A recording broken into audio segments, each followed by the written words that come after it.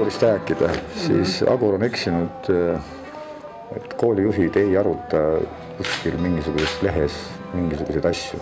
koolijuhid helistavad üksteisele, saavad kokku, lepivad asjad kokku, räägivad läbi ja teevad asju. koolijuhid ei keera üksteisele sikku.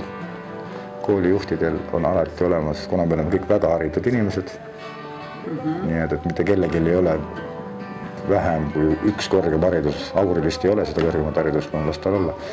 rohkem ma temast nagu rääkida ei tahagi üldse. minu jaoks on ta pätt ja ongi valmis.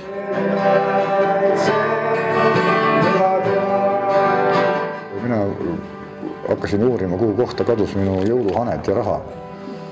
tähendab, et ma nagu tahan nagu õppeõpetajat tänada ja kõiki muid asju, kui nad on hea töö teinud ja kui raha väga vähe on, siis ma siis püüan mingisugust, no natukenegi mingisugust siukest pingitust teha või midagi muud, eks ole.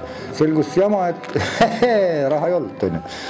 no linnal on raha vaja, okei okay., aga siis edasisel uuringutel selgus, selgus niimoodi, et mul jäi see sõna nagu kuidagi naljakalt õhku, õhku rippuma, et Haridusamet ütles nii, et, et Kaag, eks ole, et Gustav Adolf kattis oma ülekulutamised ja lõhki minek, minekud kõik oma järgmise aasta eelarve arvelt, siis järelikult, kui ta kattis järgmise eelaasta arvelt, siis ta peaks praegu oma uksed olema kinni pannud juba, siis ta peab raha otsas olema, sest kokku ta slikerdas ära ligi kaks miljonit krooni.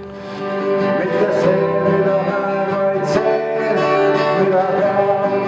vot nüüd ma siis lihtsalt, kui tähendab, et korrektne tähendab ametnik ja, ja ma, kes armastab oma kooli, oma õpilasi, oma õpetajaid, ei lase mingisugusel seltsimehel kotti pähe tõmmata oma rahvale.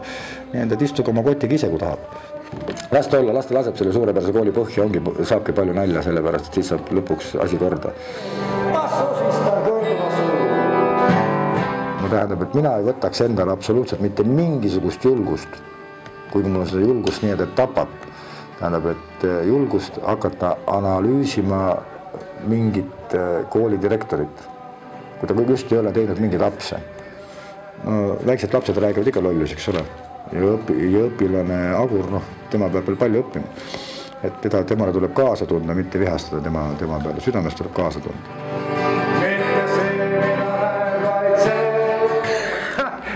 ma ei nori Aguriga tüli, Aru, Agur on teine raskekaal, ta on kärbeskaal, kurat, raskekaalaste meeste hulgas, saad sa aru, ta on kärbeskaal, ta on lihtsalt ibaajaja, saad sa aru, ja ta ajab lihtsalt kõiki inimesi il, ilma aegu närvi.